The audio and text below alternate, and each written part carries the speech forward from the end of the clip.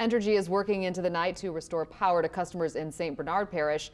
The freezing temperatures are to blame for a major transmission line that went down, cutting power to thousands of homes and also businesses in this bitter cold. Well, Paul Murphy has been out in St. Bernard for most of the day. He joins us with an update. Paul? Karen, Natalie, today we saw lots of Entergy linemen working in their bucket trucks across St. Bernard Parish. We are told at last check there are still 2,800 Entergy customers without power tonight in the parish. Now, according to Entergy, windy conditions hampered efforts to re-energize the lines today, and rather than simply energizing an entire power line at once. Entergy is bringing customers back online one section at a time to avoid unnecessary delays. The problem is with the transmission line that runs from Michoud in New Orleans to Meraux.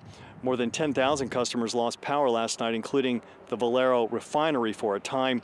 Some neighbors spent much of the day in their vehicles trying to warm up.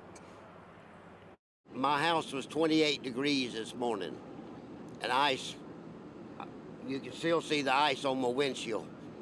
It's it's been cold.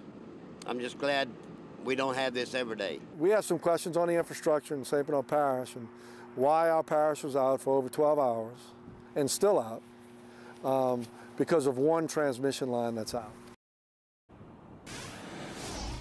And St. Bernard Parish President Guy McInnis is urging residents here to please stay home tonight and off the roads. And according to Entergy, they hope to get most of their customers back online by tonight.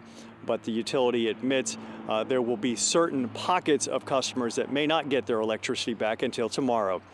We're live in St. Bernard Parish. Paul Murphy, Eyewitness News.